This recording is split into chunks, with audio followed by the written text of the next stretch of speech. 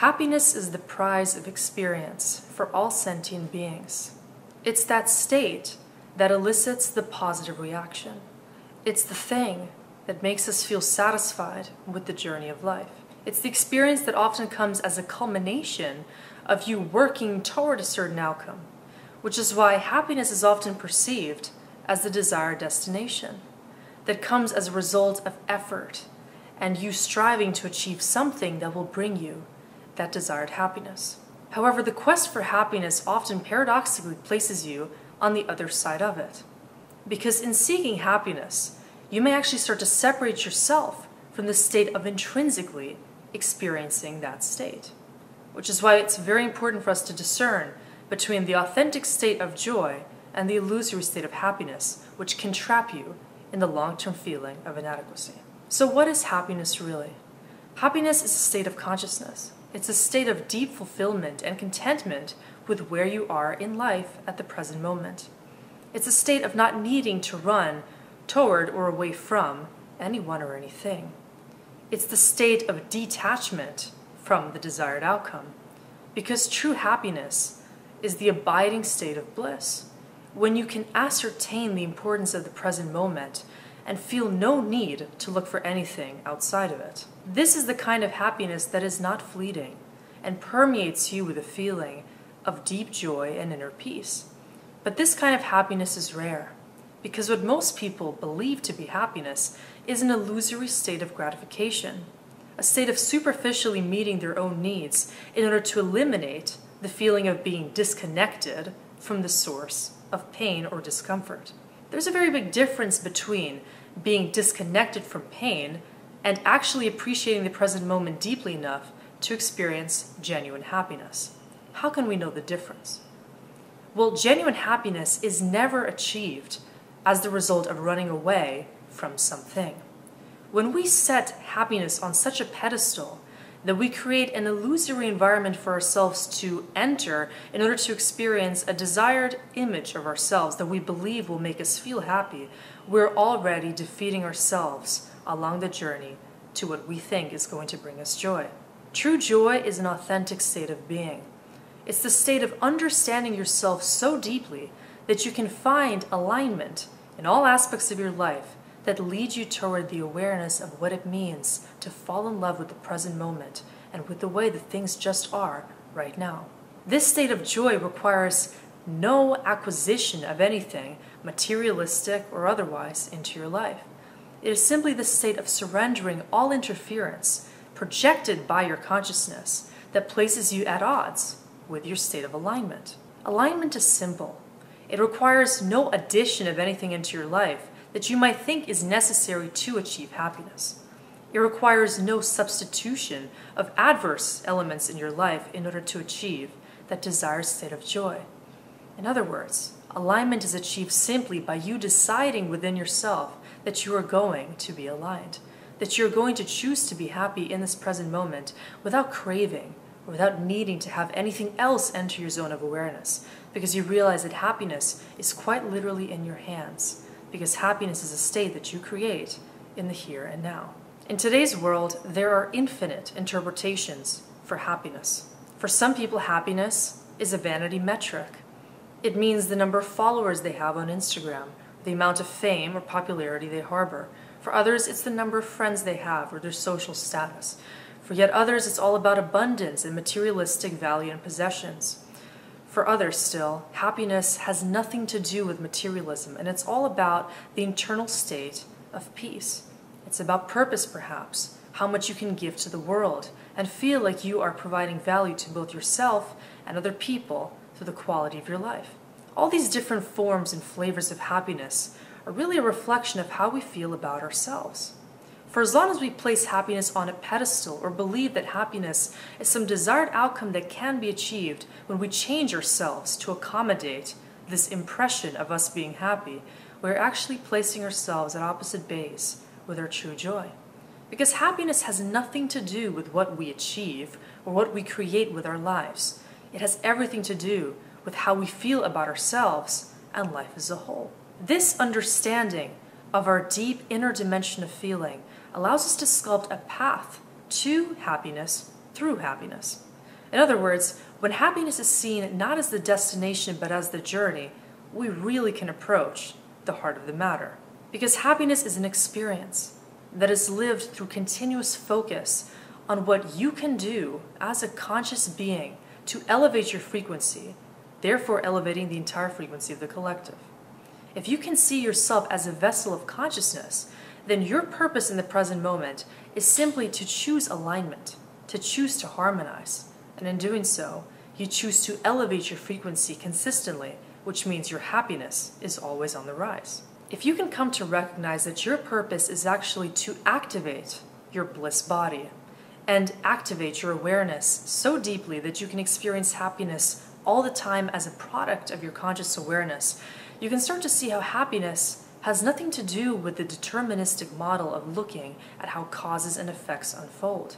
Happiness is never the effect, it's rather the cause of everything that brings you even more satisfaction and alignment in life.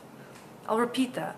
If you can come to see happiness as the cause of all favorable positive effects in your life, you will see how happiness is actually determined by your ability to hold space for it. So think about it. How do you need to change within yourself to accommodate more happiness? How can you allow happiness to rule your life in such a way that you are not seeking it or chasing it anymore?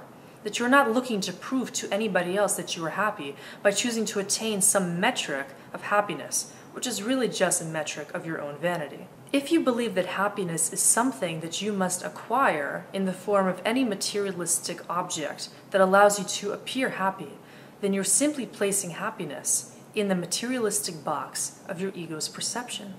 The ego and the soul have two different forms of happiness as projected through their individual lenses of perspective. And we, of course, as dualistic vessels of awareness, have the ability to perceive through either lens. Our goal, I believe, is to integrate both, to see how our ego can support our soul's quest for deeper alignment by choosing to see that happiness is the function of both.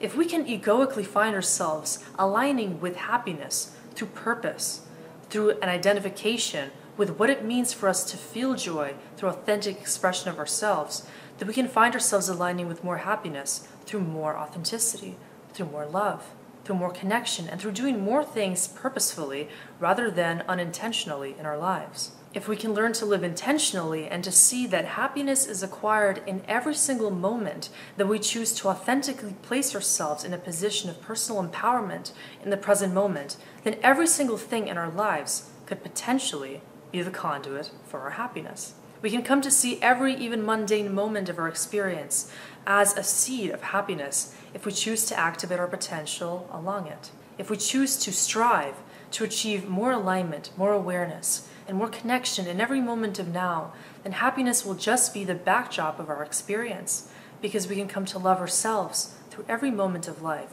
which is just a container for experiencing ever more love. These concepts are all interwoven love, happiness, authenticity, bliss, awareness, presence, unconditionality, and joy. Because if you can come to see that life is a playground for the spectrum of consciousness to unfold itself, then you can see how it's actually your choice to align with the positive end of the spectrum for as long as you allow yourself to align that deeply. Most people who are seeking happiness are trapping themselves in the illusion that happiness is something that comes as the result of them doing what their ego thinks they must do in order to achieve the desired outcome. But that desired outcome already comes through the lens of judgment. It comes through the understanding that you are not whole unless you achieve X, Y, and Z factor. Maybe you feel that if you attain a certain thing that your ego believes is a necessary component of happiness, then you will be able to please other people, allowing you to achieve the desired validation and acceptance to feel happy and content within yourself. But for as long as you use happiness to bolster your identity in the eyes of other people, you're actually distancing yourself from what your true source of bliss is. Because happiness is true inner peace, which is a state of you being detached from others' perceptions. In this state of happiness, you have no desire to achieve a reaction from other people because you will already feel so satisfied within yourself that you have no desire to prove anything to anyone at all. Most people these days do not understand that they can be authentic generators of their own happiness because the connection to self is eroded very often in early childhood. Most people fail to see that they are blockading their own happiness by limiting their ability to fully love and accept themselves. If you cannot hold space for your genuine feelings, for your acceptance of the world, through your own perspectives, through your own opinions, your own characteristics that must be uniquely cherished and expressed in order for you to find your authentic role in the world, you will not be able to see how happiness is actually up to you. Unless you can learn to curate your unique experience of happiness through the spectrum of your consciousness, you will always think that happiness is something that must be randomly automated by your universal experience. You may think that some people are happy because destiny has happiness in their chart.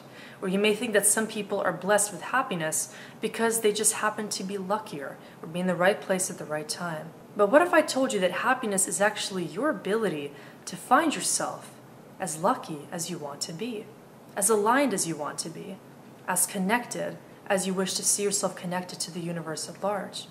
What if happiness is your energetic alignment to the positioning within yourself that equivocates source consciousness's ability to stay aligned and to find coherence. You, as a unique individual, have the ability to either deviate from your source of happiness or to come back home to your true colors of your spirit, to understand who you are, and through doing so, you can come to unlock the keys within your awareness to just be happy without any ulterior motive, without needing to have anything that you don't already have, or needing to become anyone who you currently are not.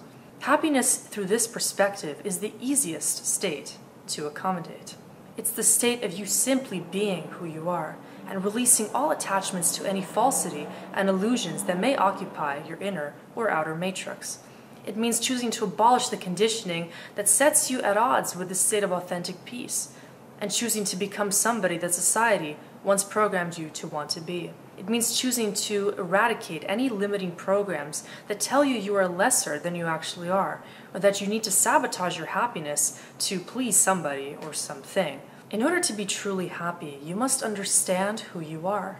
You must understand what you're worth, and you must know that you are ultimately deserving of joy regardless of what you have been conditioned to believe.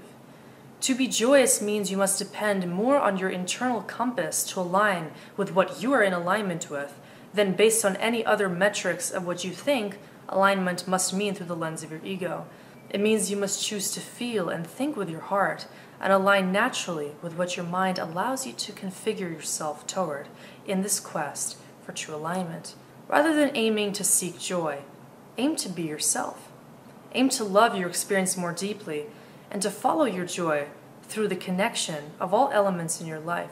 If you can see that you are occupying a simulation of your own mind's creation, then what is it that you currently are still holding on to that makes happiness not a permanent backdrop of your experience? Why would any other theme permeate your reality? Think about what you can do to change the coloring of this palette of your consciousness, to connect more dots and to see the meaning in all things, bringing you closer to the state of joy. Bliss is ultimately a choice, and it is in your destiny to align with it, if only you choose to surrender all aspects of the disintegration that may have programmed you to believe that you are worth anything less than true bliss.